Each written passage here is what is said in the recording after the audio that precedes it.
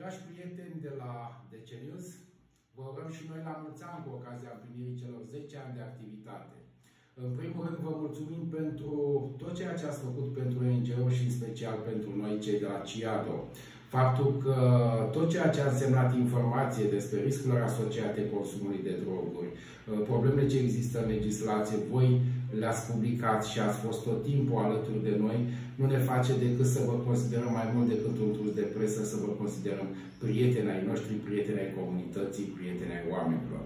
Ne bucurăm încă o dată că existați, uh, că ați făcut posibil ca foarte multe evenimente pe care noi le-am organizat să ajungă la oameni și, în ultimul rând, uh, dorim să vă urăm multă sănătate întregului colectiv și voi știți de ce tocmai eu fac lucrul ăsta și vă mulțumesc că m-ați fost alături.